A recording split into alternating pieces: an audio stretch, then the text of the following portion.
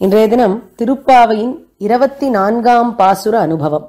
அன்று உலகம் அளந்தாயடி போற்றி சென்றங்கு தென்னிலங்கை சற்றாய் திரள் போற்றி பொன்றச் சகடம் உதைத்தாய் புகழ் போற்றி கன்று குனிலாய் எரிந்தாய் கழல் போற்றி வென்று பகை கெடுக்கும் நின் கையில் வேல் போற்றி என்றென்றும் சேவகமே ஏத்திப்பறை கொள்வான். இன்றியாம் வந்தோம் இரங்கேலோரெம்பாவாய் நப்பின்னையின் தலைமையில் ஆண்டாளும் அவளுடைய தோழிகளும் எம்பெருமான் கண்ணனை நாடி அவனை திருப்பள்ளி எழுப்பிக் கொண்டிருக்கிறார்கள் திருப்பாவையின் ஐந்தாவது காட்சியிலே. எம்பெருமானும் பெண்கள் சொன்னபடியெல்லாம் கேட்டு கிங்கிணிவாய்ச் செய்த தாமரை பூ போல் கண்விழித்து அதற்கு மேலே திங்களும் ஆதித்யனும் எழுந்தாற்போல் அவர்களை கட்டாட்சித்து அவர்களிடத்தில் என்ன காரியத்தை செய்ய வேண்டும் என்று தான் நியாமியனாக நின்றான் அப்படின்னு பார்த்தோம். பெண்களெல்லாம் என்ன காரியமாக இருந்தாலும் சபாகிரகத்திலே இருக்கும் சிம்ஹாசனத்தில் தேவரீர் வீற்றிருந்தால் ஒழியே நாங்கள் விண்ணப்பிக்க முடியாது. அதில் இருந்து தேவரீர் அனுகிரகிக்க வேண்டியது மிகவும் முக்கியம் என்று வேண்டிக்கொள்ள எம்பெருமானும் அந்த சபாகிரகத்தை நோக்கி நாலு நடை நடக்க ஆரம்பித்தான். நாலடி வைத்தான் எம்பெருமான். இப்படி வைத்தவுடனே பெரியாழ்வார் பெண் பிள்ளையான ஆண்டாளுக்கு எம்பெருமான் இப்படி நமக்காக எழுந்து வருகிறானே எப்பேற்பட்ட திருவடியை வைத்துக்கொண்டு வருகிறான் அப்படின்னு பொங்கும் பரிவு பிறந்து போற்றி பாடத் தொடங்க வேண்டும் என்று தோணிற்றாம். மங்களாசாசனம் செய்ய வேண்டும் என்று தோணியது. பெரியாழ்வார்தான் ஆழ்வார்களுக்குள் பெரியவர் என்று பெயர் பெற்றார். காரணம் சாக்ஷாத் சர்வ ரக்ஷகனான சர்வேஸ்வரனுக்கு ரக்ஷை அளித்து பல்லாண்டு பாடினவர் இவர். இவர் பல்லாண்டு பாடும் பொழுது அந்த பிரபந்தத்தினுடைய கடைசியில பலஸ்ருதியில என்ன சொல்றார் அப்படின்னு பார்த்தா பல்லாண்டென்று பவித்திரனை பரமேட்டியை சார்ங்கம் என்னும் வில்லாண்டான் தன்னை வில்லி புத்தூர் விட்டு சித்தன் விரும்பிய சொல்.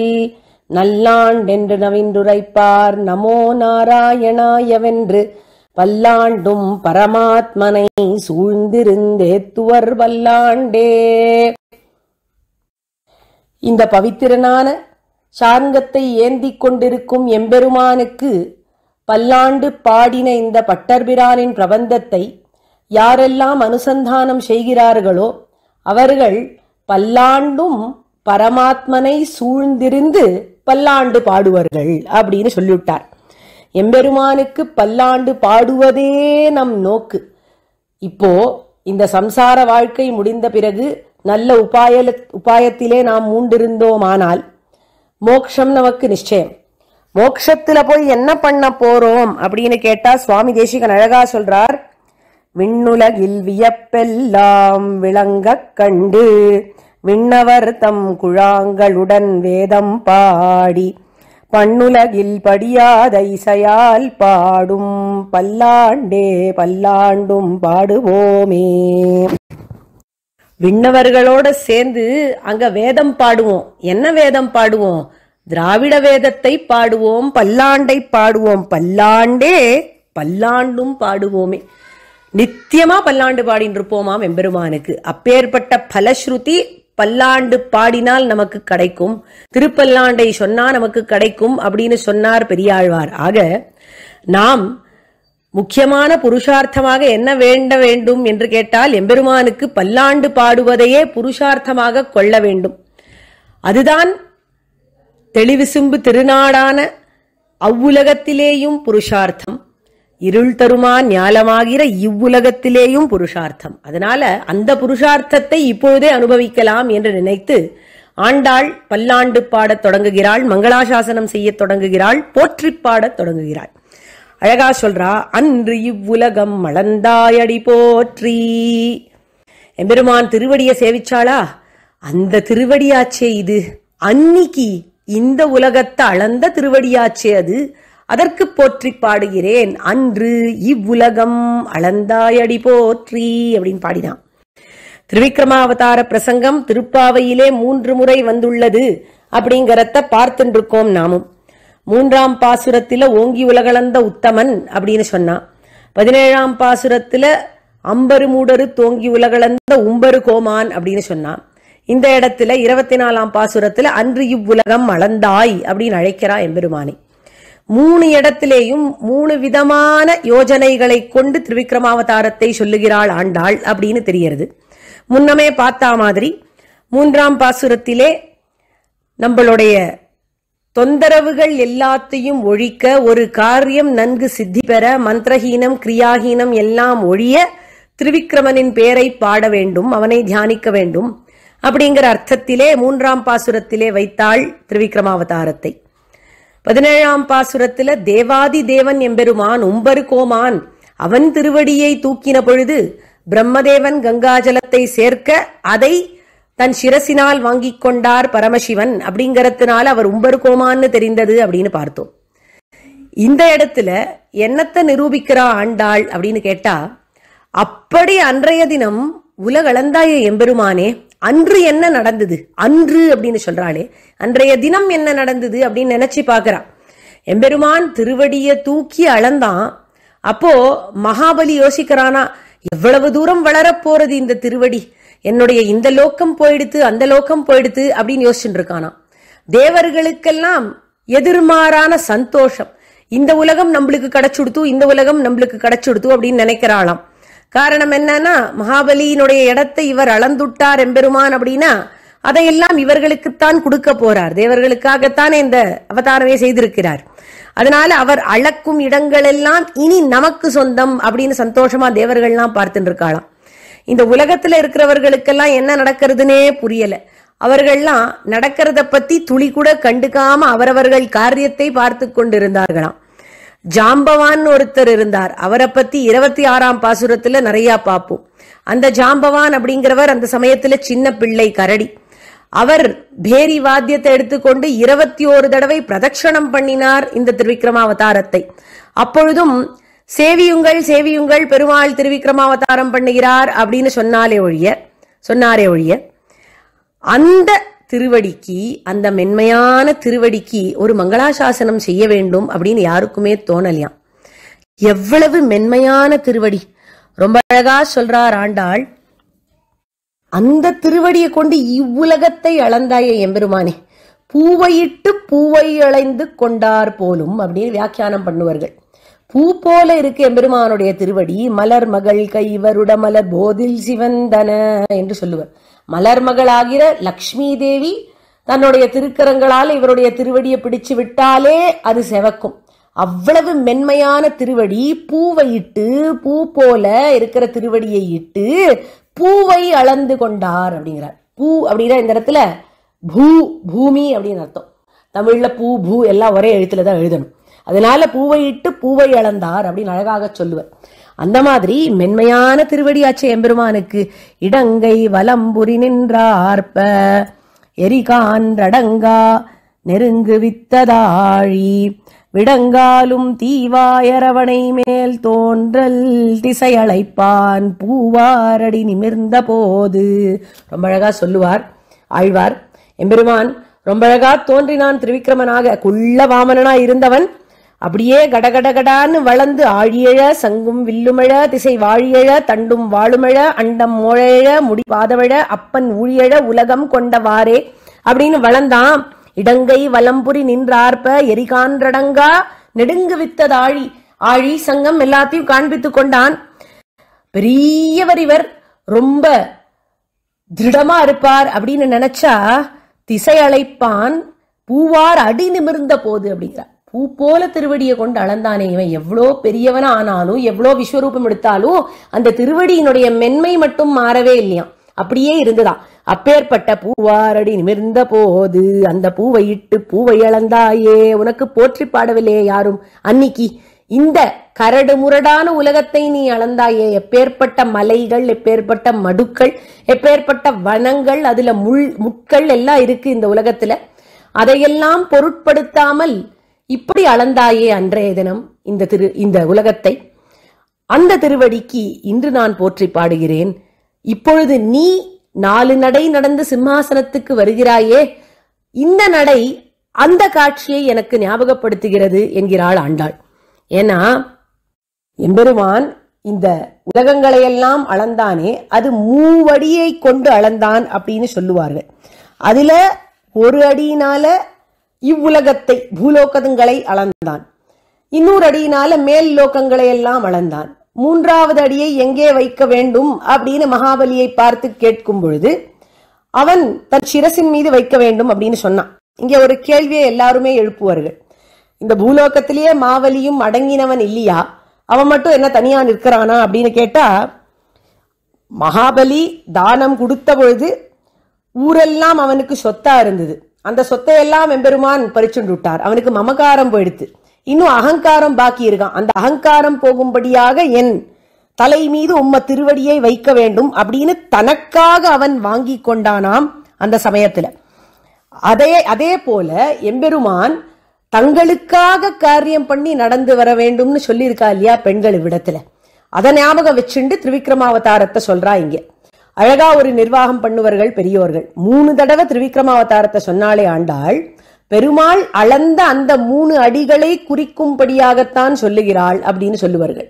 மூன்றாம் பாசுரத்துல ஓங்கி உலகளந்த உத்தமன் அப்படிங்கறதுனால உத்தமனாய் இருந்து இவ்வுலகிலே காலடியை வைத்தான். இந்த உலகம் உய்ந்து போகும்படியாக வைத்தான் அப்படிங்கிற அர்த்தத்திலே பூலோகத்திலே எம்பெருமான் திருவடியை இட்டது சொல்லப்பட்டது அப்படின்னு வருகள். அடுத்தது அம்பரு மூடரு தோங்கி உலகளந்த அப்படின்னு பதினேழாம் பாசுரத்துல சொல்லும் பொழுது மேல் லோக்கங்களை எம்பெருமான் அளந்தான் ஊடறுத்து அப்படிங்கிற சொல்லினால அது புரிஞ்சுது. மூன்றாவது திருவிக்ரமாவதார பிரசங்கம்ங்கிறது மகாபலியின் தலையிலே எம்பெருமான் திருவடியை வைத்ததை பத்தி சொல்லுகிறது. ஏன்னா அவன் அப்படி நொடிஞ்சி போய் கேட்டானா எம்பெருமான் கிட்டக்க எம்பெருமானே உம்முடைய திருவடியை என் காலில் வைக்கணும் அப்படின்னு அடியை அடியை மூன்றை இறந்தவாறும் அங்கே நின்றாள் கடலும் மண்ணும் விண்ணும் முடிய ஈரடியால் முடித்து கொண்ட முக்கியமும். ரெண்டு திருவடியில எல்லாத்தையும் அளந்து முடிச்சுட்டான். அதுக்கப்புறம் என்னாச்சு? நொடியுமாறவை கேட்குந்தோறும் என் நெஞ்சம் நிந்தனுக்கே கரைந்துகும். அப்படியே நொடிஞ்சி போய் அந்த மகாபலி என்னுடைய திருவடியில தலைய வைக்க வேண்டும் அப்படின்னு சொன்னானே அதை கேட்டு என் நெஞ்சு உருகி போகாதோ கரைஞ்சி போகாதோ? அப்படின்னு ஆழ்வார் பாடுறார். அந்த மாதிரி நெஞ்சுருகி கரைஞ்சி இவ்விடத்தில் ஆண்டாள். ரொம்ப அழகாக அடி போற்றி எங்களுக்காக நடந்து வந்தியே அன்னைக்கு மகாபலிக்காக திருவடியை அவன் சிரசிலே வைத்தா போல் எங்களுக்காக இப்படி நாலு நடை நடந்து சிம்ஹாசனத்துக்கு வருகிறாயே அடி போற்றி அப்படின்னு பாடினா அடுத்தது சென்றங்கு தென்னிலங்கை செற்றாய் திரள் போற்றி. இந்த திருவடியினால நீ நடந்து நடந்து தென்னிலங்கைக்கு போனாயே எம்பெருமானே. நடந்து போய் அந்த திரளை காண்பித்து தென்னிலங்கை செற்றாய் அப்படின்னு பாடுறா. எம்பெருமான் நடந்து போயிருக்க வேண்டிய அவசியமே இல்லையாம் ஏன்னு கேட்டா தோ இந்த லங்கைக்கு போறதுக்கு முன்னாடிதான் சமுத்திரராஜன் சரணாகதி பண்ணினான். எம்பெருமான் ஒரு அம்ப தொடுத்து வச்சிருந்தார் தயாரா. அதை விடலாம் சமுத்திரராஜன் மேல அப்படின்னு வச்சிருக்கார். இவன் வந்து சரணாகதி பண்ணின உடனே அதை அவன் மீது ஏவி விட முடியாது. சரி என்ன பண்ணட்டும் இந்த அம்ப அப்படின்னு கேட்டான் எம்பெருமான். அப்ப சமுத்திரராஜன் சொன்னா சமுத்திரத்துக்கு அக்கறையில என்னுடைய சத்ருக்கள் நிறைய பேர் இருக்கா? அவர்கள் மீது இந்த பானத்தை தொடுத்தெறிய வேண்டும் அப்படின்னு கேட்டுட்டானாம் எம்பெருமானும் அப்படியே செய்தார். இப்ப இங்க என்ன புரியறது? சமுத்திரத்தினுடைய அந்த பக்கத்துல தான் லங்கையும் இருக்கு.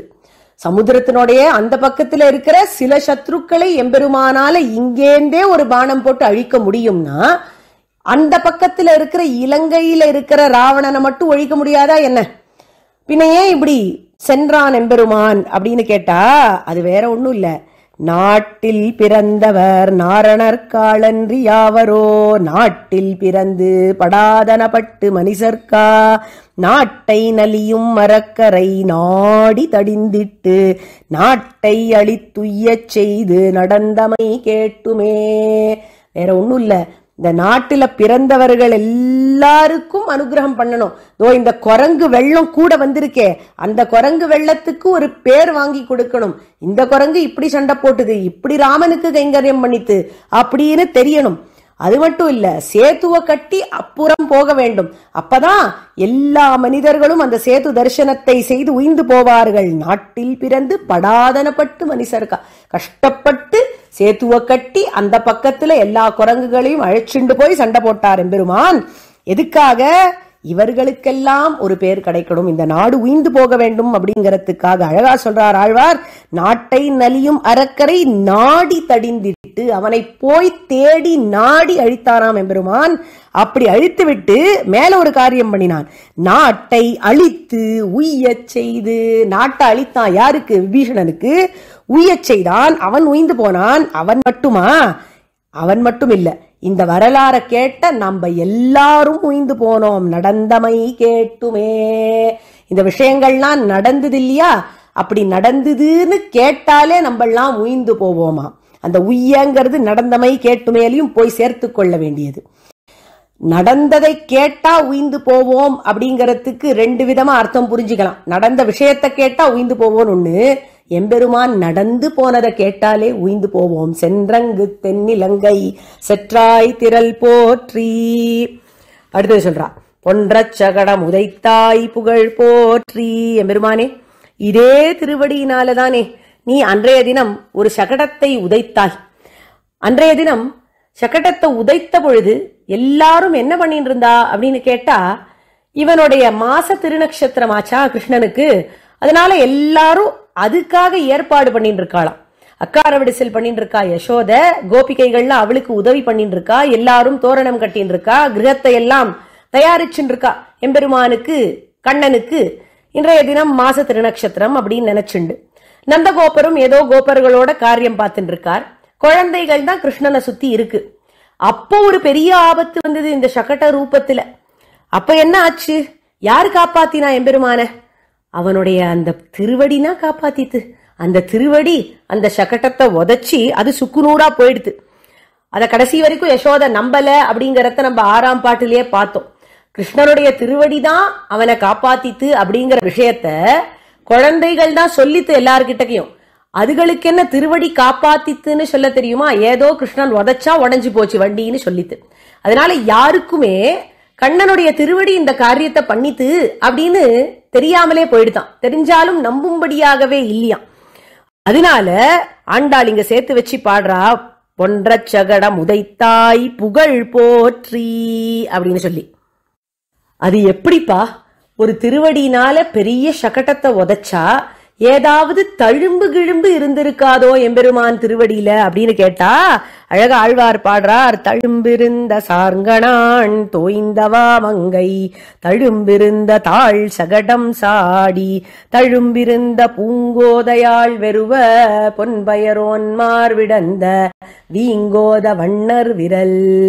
எம்பெருமானுக்கு தோல்ல தழும்பு இருக்கும். சாங்கத்தினுடைய நாணின் தழும்பு. அதே போல தழும்பிருந்த தாழ் சகடம் சாடி அன்னைக்கு சகடாசுரனை உதைத்தானே அதனுடைய தழும்பு இருந்துதாம் அவனுடைய திருவடியில அப்படின்னு ஆழ்வார் பாடுறார்.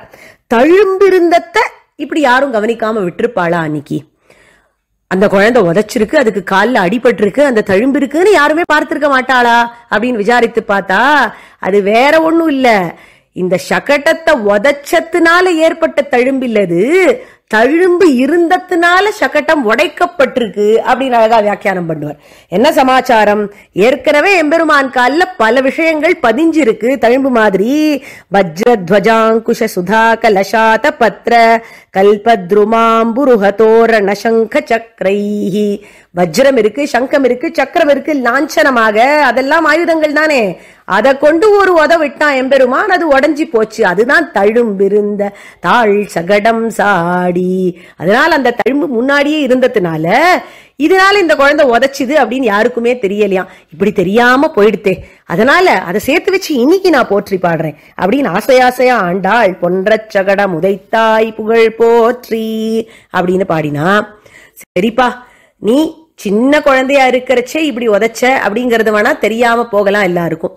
கொஞ்சம் பெரியவன ஆன உடனேயும் ஒரு காரியம் பண்ணினாயே. என்ன பண்ணினாய்? கன்று குனிலாய் எரிந்தாய் கழல் போற்றி. ஒரு வரலாறு நடந்தது. என்ன ஆச்சுன்னு கேட்டா வளாம்பழம் கோபர்களுக்கு ரொம்ப பிடிக்கும். வளாமரம் ஒண்ணு இருந்துட்டு இருந்தது அது பெருசா காய்க்காதான் ஆனா திடீர்னு பார்த்தா ஒரு நாள் அப்படியே குலுங்கிறது அந்த வளா மரம் அவ்வளவு வளாம்பழங்கள் அந்த மரத்துல அன்றைய தினம் இருந்துதான் கிருஷ்ணனுக்கு தெரிஞ்சு போச்சு ஏதோ அசுரப்பயதான் இங்க வந்திருக்கான்னு. ஆனா கூட இருக்கிறவாள்லாம் அறிவொன்றும் இல்லாத ஆய்க்குலமா? அதனால பாரு கிருஷ்ணா எவ்வளோ பழம் காய்ச்சிருக்கு. எங்களுக்கு இதெல்லாம் வேணும் பறிச்சு தரையா? அப்படின்னு கேட்டுதான் பசங்க. பக்கத்துல பார்த்தா ஒரு கண்ணுக்குட்டி வடிவத்துல இன்னொரு அசுரன் இருக்கான் வத்சாசுரன். அந்த மரத்துல இருக்கிறவன் கபித்தாசுரன். இந்த வத்சாசுரனான கண்ணுக்குட்டியை எடுத்து அப்படியே சுழட்டி தூக்கி எரிஞ்சான் எம்பெருமான். பொல பொல பொலான்னு எல்லா கபித்த பழங்களும் வளா பழங்களும் கொட்டித்து. பசங்கள்லாம் எடுத்துட்டு போயிடுது.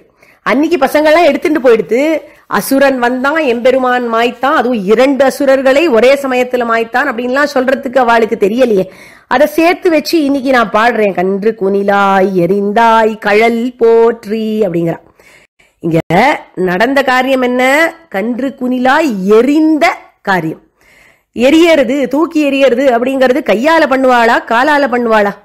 இந்த இடத்துல கரம் போற்றி அப்படின்னு பாடியிருந்தா சரியா இருந்திருக்கும். கழல் போற்றி அப்படின்னு ஏன் பாடுற ஆண்டாள் அப்படின்னு கேட்டா ஆச்சரியமா சொல்லுவார் பெரிய ஆச்சான் பிள்ளை குஞ்சித்த திருவடியை பாடினாள் அப்படின்னுவார். முதல் அடியினால அன்று உலகம் அளந்தாய் அடி போற்றி அப்படிங்கிற அடியினால நீண்ட திருவடியை பாடினாள். எம்பெருமானுடைய திருவடி நீண்டுதல்லவா? அதை பத்தி பாடினா இப்போ இந்த கபித்தாசுரன் மேல வத்சாசுரனை தூக்கி எரிஞ்சா இல்லையா? கண்ணுக்குட்டிய தூக்கி எரிஞ்சா இல்லையா? அப்போ இப்படி காலை மற்கழிச்சுண்டு அப்படி தூக்கி எரிஞ்சானா அதுதான் குஞ்சித்த திருவடியை ஃபுட் ஒர்க் அப்படின்னு சொல்லுவா. அது ரொம்ப அழகா தமிழ்ல சொல்றார் பெரியவாச்சான் பிள்ளை. குஞ்சித்த திருவடியை பாடினார் இதனால் அப்படிங்கிறா அழகா ஆழ்வார் சொல்லுவார் இனியார் புகுவார் எழுநரக வாசல் முனியாறு மூரித்தாள் கோவின் கனிசாய கண்டறிந்த தோளான் கனை கழலே காண்பதற்கு நன்கறிந்த நாவலம் சூழ்நாடு இந்த எம்பெருமான் எப்படி தூக்கி எறிஞ்சான்? கனி சாய கன்றெறிந்த தோளான் கனி சாய பழம் கீழே விழ குண்டெறிந்த தோளான் கன்றெறிந்த தோளான் அப்படின்னு பாடுறார் ஆழ்வார். அந்த கன்றை எரிந்தது எப்படி? கனி சாயும்படியாக அப்படின்னு ஒரு அர்த்தம் சொல்லலாம். கனி சாய கன்றெறிந்த தோளான்னு சேர்த்து சொல்லலாம். அப்படி கணிசமா செஞ்சான் அந்த காரியத்தை. ரொம்ப அழகா மிடுக்கோட செஞ்சான் அந்த காரியத்தை அப்படின்னு அனுபவிப்பர். எம்பெருமான் மீது பூதத்தாழ்வார் அன்பு கொண்டது இந்த சரித்திரத்தை நினைத்துதான் அப்படின்னு அழகாக பாடுறார். மாலே நடியோனே கண்ணனே விண்ணவர்க்கு மேலா வியந்துழாய் கண்ணியனே மேலால் விளவின் காய் கன்றினால் வீழ்த்தவனே எந்த நலவன்றால் யானுடைய அன்பு. ரொம்ப அழகா சொல்றார். அளவு கடந்த அன்பு எம்பெருமான் என் மீது வச்சிருக்கான் அப்படின்னு எனக்கு தெரிஞ்சது. எதனால? இந்த கண்ணுக்குட்டிய கொண்டு கபித்தாசுரனை வதம் செய்தானே அதனால குழந்தைகள் பழம் சாப்பிடுற ஆசை சாப்பிட்ட ஆசைப்படுறது. அப்படிங்கறதுக்காக எந்தவித ஆபத்தையும் சந்தித்து அவன் அவர்களுக்கு அனுகிரகம் செய்ய காத்திருக்கிறான் அப்படின்னு காட்டிக் கொடுத்த வரலாறு அல்லவா? அப்பேற்பட்ட வரலாறிலிருந்து எம்பெருமான் என் மீது அன்பு கொண்டான் என்று எனக்கு தெரிந்தது. அவன் மீது நான் அன்பு கொள்ள வேண்டும் என்று எனக்கு உணர்ச்சி ஏற்பட்டது அப்படின்னு ரொம்ப அழகா ஆழ்வார் பாடுவார். அந்த மாதிரி அன்பு கொண்டார்கள் ஆழ்வார்கள் போற்றி பாடினார்களா அப்படின்னு கேட்டா அது ஆண்டாள் தான் செய்தாள். கன்று குனிலாய் எரிந்தாய் கழல் போற்றி அப்படின்னு பாடினான். அடுத்தது குன்று குடையாய் எடுத்தாய் குணம் போற்றி. எம்பெருமான் இன்னும் கொஞ்சம் வளர்ந்தான். அப்போ பிருந்தாவனத்துல எல்லாரும் இந்திரனுக்கு பூஜை பண்ணுவார்கள் வருஷா வருஷம் நல்ல மழை பொழிய வேண்டும் நாட்டுல. அப்படிங்கிறதுக்காக இந்திர பூஜை நடத்துவார்கள். அந்த இந்திர பூஜையில நிறைய ஆகாரம் எல்லாம் இந்திர இந்திரனுக்குன்னு படைச்சி அவனை வழிபட்டு கொண்டாடுவார்கள் கோலாகலமா. இந்திரன் சில வருஷங்கள் கழிச்சு இந்த பூஜை தனக்குத்தான் நடக்கிறது அப்படின்னு அகங்காரம் கொண்டானாம். என்ன அர்த்தம் அப்படின்னு கேட்டா இந்திரனுக்கு தானே பூஜை. அப்ப தனக்கு தான் பூஜை நடக்கிறதுன்னு தானே அவன் நினைச்சுக்கணும். அதுல என்ன தப்பு இருக்கு அப்படின்னு கேட்டா எந்த தேவதைக்கு எந்த பூஜை பண்ணினாலும் அந்த தேவதையானவன் தனக்கு அந்தர்யாமியான நாராயணனுக்கு அது அப்படின்னு நினைச்சுண்டாதான் காரியம் ஒழுங்கா நடக்கும் எல்லாருக்கும். அகங்காரம் வந்துடுத்து அந்த தேவதைக்கு எனக்கு தான் இவன் பண்றான் அந்த தேவத்தை நினைச்சுட்டானால் அவனை வழிக்கு கொண்டு வந்துடுவான் எம்பெருமான்.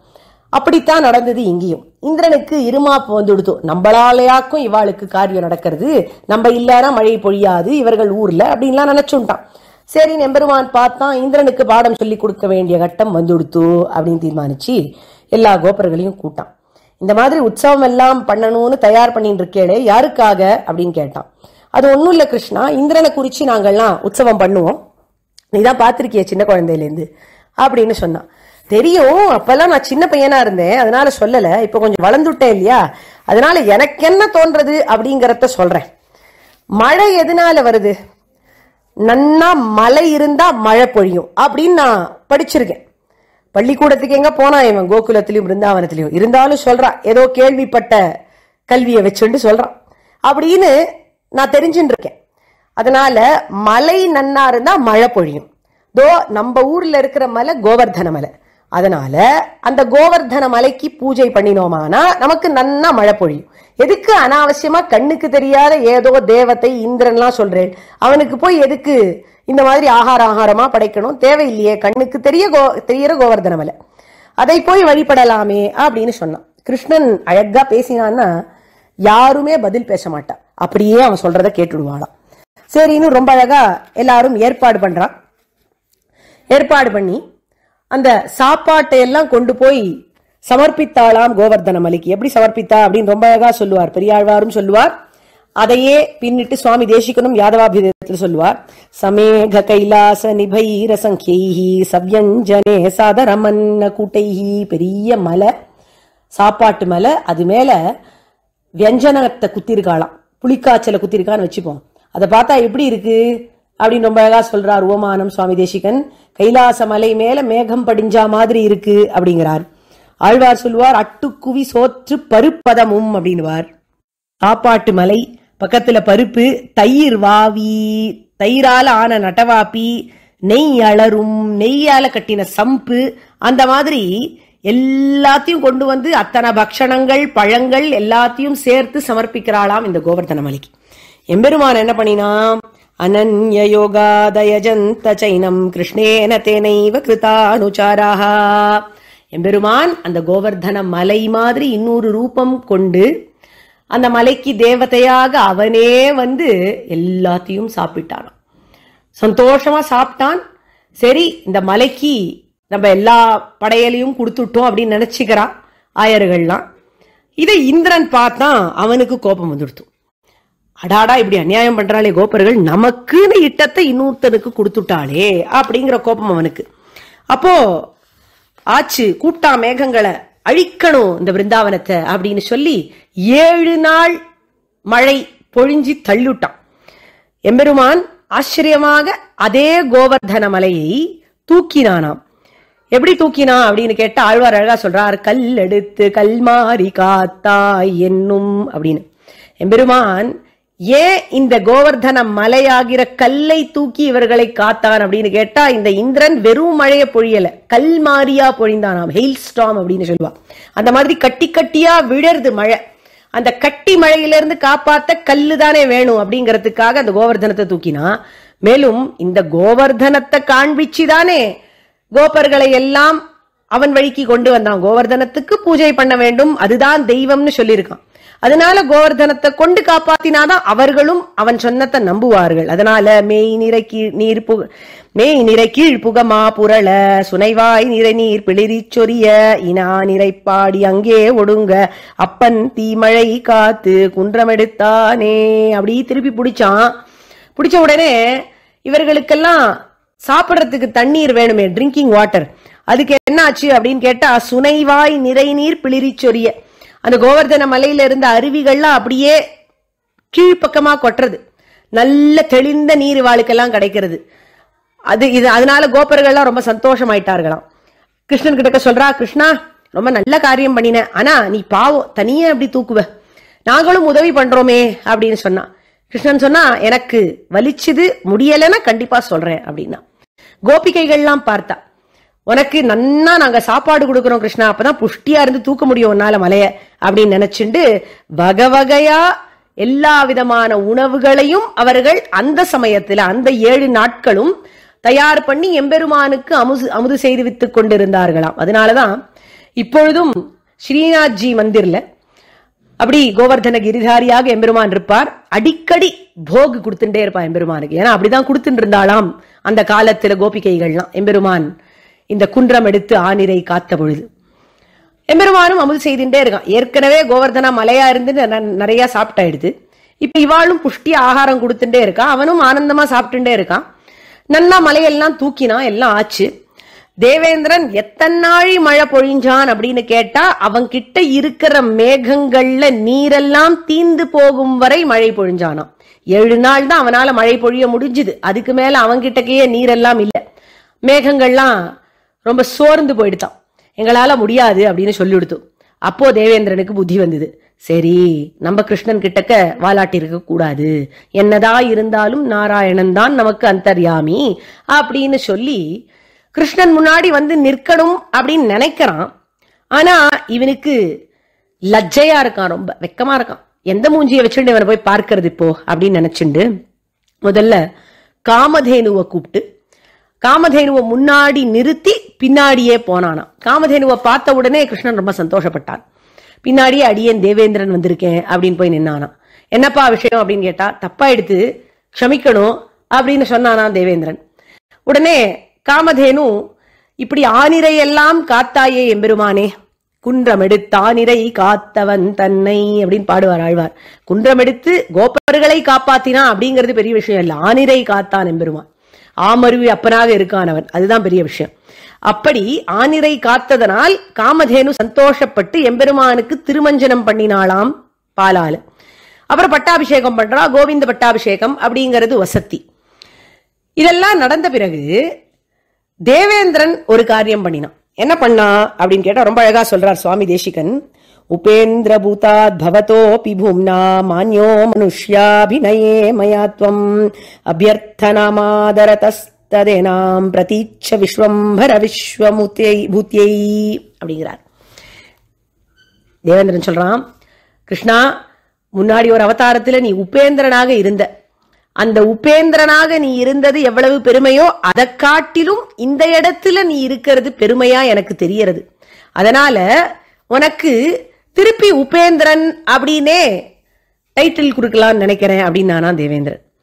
உபேந்திரன் என்ன அர்த்தம்னா இந்திரனுக்கு துணைவன் அப்படின்னு அர்த்தம் அசிஸ்டன்ட் இந்திரன் அப்படின்னு அர்த்தம். இவன் இந்திரன் இவன் ஒரு விருது கொடுக்கறான் அப்படின்னா அதுவும் யாருக்கு விருது கொடுக்கறான்?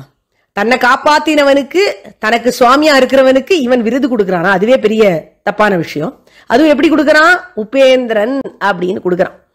உபேந்திரன் உபேந்திரன் அப்படின்னா இவனுக்கு கீழ்பட்டவன்னா அர்த்தம். அத போய் இவன் கொடுப்பானோ அப்படின்னு எம்பெருமான் சண்டைக்கு வரலையாம். அப்படியாப்பா நீ என்ன கொடுத்தாலும் சரி நான் ஏத்துக்கொள்கிறேன் அப்படின்னு சொல்லிட்டு வாங்கிட்டானாம் ஆனா உண்மையில இந்த இடத்துல இந்திரன் வளருட்டான். இந்த இடத்துலயும் உன்னை உபேந்திரனா கூப்பிடுறேன் அப்படின்னு அவன் சொல்ல நினைக்கலையா? உபரி இந்திரனா உன்னை நினைக்கிறேன் அப்படின்னு சொல்ல வந்தான். ஆனா பயத்துல வாய் குழறி உபேந்திரன் விட்டானா எம்பெருமான் அவன் என்ன நினைச்சான் அப்படிங்கறதான் பார்த்தான். இவன் வாயில வந்தத பெருசா நினைக்கல. அதனால போனா போறது உபேந்திரன் நீ சொன்னாலும் எனக்கு சந்தோஷம் தான் நீ என்னத்தை கொடுத்தாலும் வாங்கிக்க நான் தயாரா இருக்கேன். பிரீத்தியோட கொடுக்கறியா? அது போரும். உபேந்திரன் அப்படிங்கிற பேரையே நான் வாங்கிக்கிறேன். அப்படின்னு ரொம்ப உதார குணத்தோட அந்த இடத்துல இருந்தானா. அதுதான் குன்று குடையாய் எடுத்தாய் குணம் போற்றி அப்படிங்கிறா. இதுக்கு மேல என்ன நடந்தது? காமதேனு ஏற்கனவே அபிஷேகம் பண்ணிட்டு போயிருக்கா. ஆனா தேவேந்திரனுக்கு இன்னும் கொஞ்சம் எம்பெருமானுக்கு ஏதாவது பண்ணணும் அப்படின்னு ஆசையா இருக்கான். உடனே அவன் என்ன பண்றான்? அபௌம கங்கா பயசா பிரபூர்ணாம் அவர்ஜயன் வாரணராஜகண்டாம். அவர்ஜயன் வாரணராஜகண்டாம். அசேஷ சாம்ராஜ்ய பதாபிஷிக்தம். குப்தியை கவாம் கோத்ரபித் பேஷிஞ்சத் அப்படிங்கிறான். தேவகங்கைய கூட எடுத்துட்டு வந்திருக்கான் ஐராவதத்தின் மேல. ஏன்னா தப்பு பண்ணிட்டோம் அவனுக்கு தெரிஞ்சு போயிடுது. அதனால எப்படியாவது எம்பெருமான சந்தோஷப்படுத்தணும் பிரியப்படுத்தணும் அப்படிங்கறதுக்காக அவனை குளிர வைக்கணும்னு எடுத்துட்டு வந்திருக்கான் அந்த நீரை தேவகங்கைய. அந்த தேவகங்கைய தன்னுடைய ஐராவதத்துல கட்டியிருக்கிற மணியை கொண்டு அந்த மணியை பாத்திரமா கொண்டு எம்பெருமானுக்கு திருமஞ்சனம் பண்ணி அவனுக்கு உபேந்திரன் அப்படிங்கிற டைட்டிலையும் கொடுத்தானாம். இந்த விஷயம் ஸ்ரீமத் பாகவதத்துல இல்ல. அப்ப சுவாமி தேசிகன் எங்கேருந்து எடுக்கிறார் யாதவாபிதத்துல அப்படின்னு கேட்டா ஹரிவம்சத்தில் இது சொல்லப்பட்டிருக்கு. உபேந்திரன் அப்படிங்கிற பதவியை அப்படிங்கிற விருதத்தை இந்திரன் வழங்கினான் எம்பெருமானுக்கு அப்படிங்கிறது சொல்லப்பட்டிருக்கு. இதெல்லாம் நடந்து முடிஞ்சுது. இதெல்லாம் கோப்பர்கள் பார்த்துட்டே இருக்கா. யாரோ இந்திரன் வரான் தேவகங்கைய கொண்டு வரான் அவன் அபிஷேகம் பண்றான் உபேந்திரன் அப்படின்னு டைட்டில் கொடுக்கறான் எல்லாத்தையும் பார்த்துது பசங்க.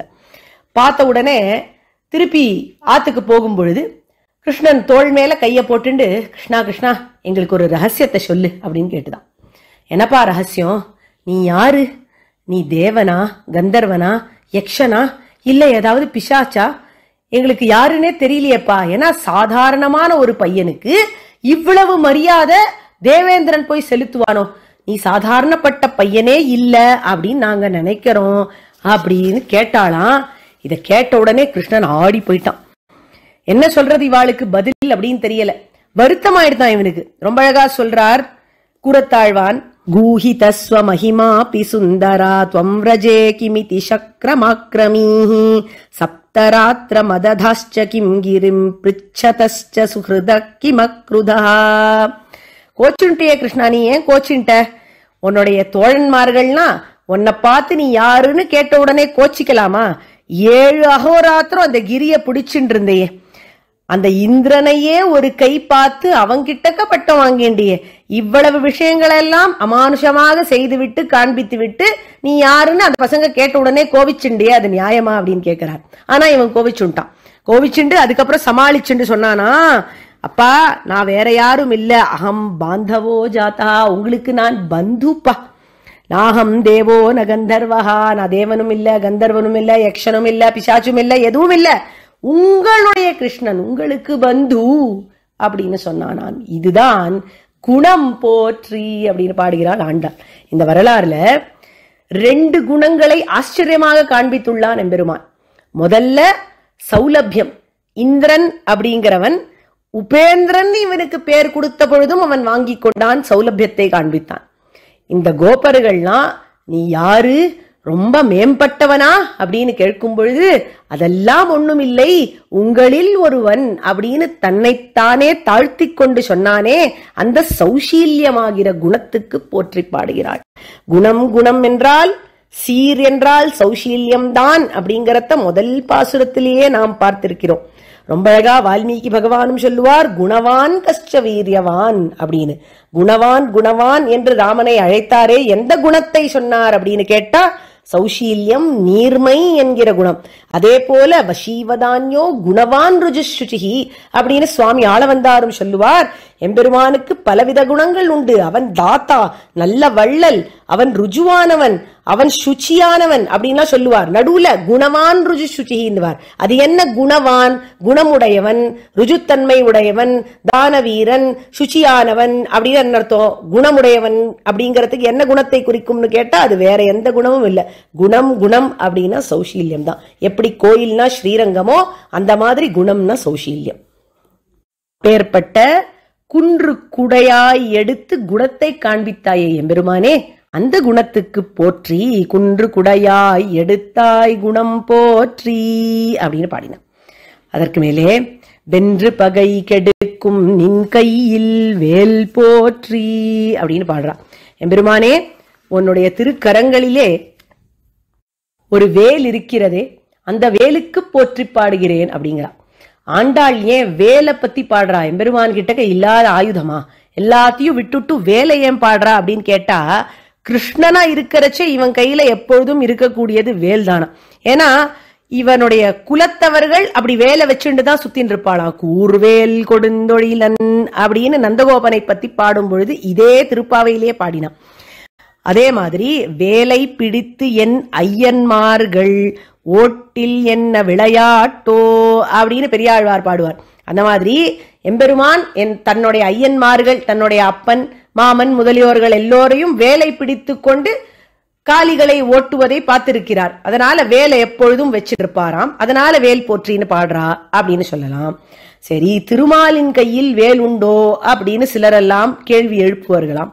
பெருமாளுக்கு சோடசாயுதங்கள் உண்டு அப்படின்னு சொல்லியிருக்கு அதனால வேலை இவன் பிடித்திருக்கிறான் அப்படிங்கறதுல ஒன்றும் சந்தேகம் இல்லை இந்த வேலைத்தான் எம்பெருமான் சுப்பிரமணியருக்கு கொடுத்தார் அப்படிங்கறதும் ஒரு வரலாறு. இப்போ நம்ம பார்த்தோமே இந்த உபேந்திரன் வரலாறு. அந்த உபேந்திரனாக முன்னாடி நீ இருந்தாய் அப்படின்னு இந்திரன் எம்பெருமானை பார்த்து முதல்ல சொன்னானே ஒரு சொல். அது எந்த உபேந்திரன்னு கேட்டா ஸ்வர்க்கத்துல இந்திரனுக்கு தம்பியா எம்பெருமான் உபேந்திரனா இருந்தான். அப்போ உபேந்திரன் தான் ஸ்வர்க்கத்துல இருக்கிற சேனைக்கு சேனாபதியாக இருந்தான். அதுக்கப்புறம் அந்த உபேந்திரனுடைய பதவிக்கு ஒருவர் வந்து சேர்ந்தார். அவர் யாருன்னு கேட்டா அவர் தான் தேவ சேனாபதி சுப்பிரமணியன். இந்த எம்பெருமான் என்ன பண்ணினார்? தன்னுடைய பதவியில இருந்தவருக்கு தான் உபயோகித்த ஒரு ஆயுதத்தை கொடுக்க வேண்டும் என்று தீர்மானிச்சார். அதற்காகவே சுப்பிரமணியருக்கு வேலை கொடுத்தார். திருவேங்கடமலையிலே குமாரதாரா தீர்த்தம் என்று ஒன்று உண்டு. அந்த இடத்துல தான் சுப்பிரமணியர் தவமிருந்து எம்பெருமானிடத்திலிருந்து வேலை வாங்கி கொண்டார் என்று சொல்லுவார்கள். இதற்கு மேலே ஆச்சரியமாக ஒரு விஷயம் சொல்லுவர் அடியனுடைய ஆச்சாரியன் ஸ்ரீ கருணாகர மகாதேசிகன் வெகு காலம் வரை அந்த வேலானது எல்லா சம்ஹாரங்களுக்கும் பயன்பட்டு கொண்டிருந்தது. அதற்கு பிறகு ஒரு காலத்துல ஞான சம்பந்தர் அப்படிங்கிற சிவபக்தர் வந்தார். அவர் முருகனுடைய அவதாரம் என்று சொல்லுவார்களாம். அவரிடத்தில் ஒரு வேல் இருந்தது. அந்த வேல் திருமாலுடைய வேல். அதை திருமால் அடியவரான திருமங்கை ஆழ்வார்க்கு கொடுக்க வேண்டும் என்பதற்காகவே அந்த லீலையை நடத்தி எம்பெரு எம்பெருமானுடைய அடியவனான கலியனுக்கு இந்த மான வேலை கொடுத்து அவரை மானவேல் பரகாலன் கலியனாக ஆக்கினார் அப்படின்னும் ரொம்ப அழகாக சொல்லுவார். எம்பெருமானுடைய திருவேலுக்கு படைக்கும் சக்தி உண்டு அப்படின்னு சுவாமி தேசிகன் அழகாக பாடுகிறார். கிரியா சக்தி குணோ விஷ்ணோஹோ யோ பவதி அதிசக்திமான் அப்படின்னு சொல்லி. அதிசக்திமானான வேலை கொண்டு எம்பெருமான் கிரியையை செய்கிறான் படைப்பு தொழிலை செய்கிறான் அப்படின்னு அழகாக பாடுவர். ஆறு விஷயங்களுக்கு போற்றி பாடினாள் ஆண்டாள். இதையே பின்பற்றி ஆண்டாள் சொன்ன சொல்லை மனதிலே வைத்துக்கொண்டு சுவாமி தேசிகன் எப்படி அதற்கு அனுகுணமாக அமைத்திருக்கிறார் ஸ்ரீசூக்திகளை அப்படிங்கிறது ரொம்ப அனுபாவியமான விஷயம். இங்க மூன்று போற்றிகள் எம்பெருமானுடைய திருவடிக்குனே பாடினா ஆண்டாள். அன்று உலகம் அளந்தாய் அடி போற்றி அதே போல பொன்றச் சகடம் உதைத்தாய் புகழ் போற்றி கன்று குனிலாய் எரிந்தாய் கழல் போற்றி. இப்படி எம்பெருமானுடைய திருவடிக்கு ஆண்டாள் போற்றி பாடினாளா? அதையே ஒட்டி சுவாமி தேசிகன் எம்பெருமானுடைய திருவடியை பத்தி ரெண்டு ஆச்சரியமான பாசுரங்களை பாடியிருக்கிறார். எல்லாம் பதினாறு வரி பாசுரங்கள். ஒரு மதியன்பர் உலங்கவர்ந்தன உலகமடங்க வளர்ந்தளர்ந்தன ஒரு சடை ஒன்றிய கங்கை தந்தன உரக படங்கள் அரங்கு கொண்டன தருமம் உயர்ந்தது இதென்ன நின்றன தரும நிறந்த திசைந்து சென்றன சகடமுடைந்து கலங்க வென்றன தமர்கள் அருந்து மருந்து தென்பன திருமகள் செய்ய கரங்களொன்றின திகழ் துளவ உந்தும் மணம் கமழ்ந்தன செழுமணி கொண்ட சிலம்பிலங்கின சிலைதனில் அன்றோர் அணங்குமிழ்ந்தன அருமறையந்தம் அமர்ந்த பண்பின அயன் முடி தன்னில் அமர்ந்துயர்ந்தன அருள் தர எண்ணிய இந்தை வந்தன அடியவர் மெய்யர் மலர்ப்பதங்களே என்று சொல்லி ஐந்தை நகர் அப்பனுக்கு தேவாதி தேவனுக்கு அவருடைய திருவடிக்கு போற்றி பாடினார் அதுக்கப்புறம் பெரிய பெருமாளுடைய திருவடிக்கு போற்றி பாடுகிறார் உரு சகடமுடைய ஒரு காலுற்றுணர்ந்தன உடன் மருதம் ஒடிய ஒரு போதில் தவழ்ந்தன உரி தடவம் அளவில் உரலோடுற்று நின்றன உரு நெறியோர் தருமன் விடு தூது குகந்தன மரநெறியர் முறிய மனத்து வந்தன. மலர்மகள் கைவருடமல போதில் சிவந்தன. மறுபிறவி அருமுறிவர் மாலுக்கிசைந்தன. மனுமுறையில் வருவதோர் விமானத்துறைந்தன அறமுடைய விசயனமர் தேரில் திகழ்ந்தன. அடலுரக படமடிய ஆடித் கடிந்தன. அருசமயம் அறிவறிய தானத்தமர்ந்தன அணி குறுகை நகர் முனிவர் நாவுக்கமைந்தன. வெறியுடைய துளவமல வீருக்கணிந்தன. விழுகரியோர் குமரனன மேவிச் விரலசுரர் படையடைய வீயத் தொடர்ந்தன. விடலறிய பெரிய பெருமாள் மெய்ப்பதங்களே. இப்படி மூன்று வரி இவள் திருவடிக்கு போற்றி பாடினாள் இவர் பதினாறு வரி கொண்ட இரண்டு பாசுரங்களை ஆச்சரியமாக அமைத்தார். இதற்கு மேலே எம்பெருமானுடைய திரளுக்கு போற்றி பாடினாள் அல்லவா? அதுவும் யாருடைய திரளுக்கு? சென்றிலங்கு தென்னிலங்கை தென் செற்றாய் திரள் சென்றங்கு தென்னிலங்கை செற்றாய் திரள் போற்றி அப்படின்னு பாடினாலே அதற்காக அந்த திரளுக்கே ஒரு ஸ்தோத்திரம் மகாவீர வைபவம் என்று. ஜெய ஜெய மகாவீரா அப்படின்னு சொல்லி எம்பெருமானுடைய வீர தீர செயல்கள் அனைத்தையும் ஆச்சரியமாக கத்தியமாக பாடிவிட்டார். அதற்கு மேலே குணத்துக்கு போற்றி பாடினாள் ஆண்டாள். குணமாகிற தயைக்குனே சதகம் பாடினவர் சுவாமி தேசிகன் ஒருவர் தான் குணத்துக்குன்னு ஸ்தோத்திரம் பண்ணினார் தயாசதகம். அதற்கு மேலே ஆயுதத்துக்கு போற்றி பாடினாள் நின் கையில் வேல் போற்றி என்று சொல்லி ஆயுதத்துக்குன்னு ஸ்தோத்திரம் அமைத்தார் சுவாமி தேசிகன் சோடசாயுத ஸ்தோத்திரம் சுதர்சனாஷ்டகம் என்று இரண்டு ஸ்தோத்திரங்கள். இப்படி ஆச்சரியமாக எப்படியெல்லாம் ஆண்டாள் சொன்னாலோ அதை பின்பற்றி சுவாமி தேசிகன் ஸ்ரீசுக்திகளை அமைத்தது ஒரு அனுபாவியமான விஷயம்.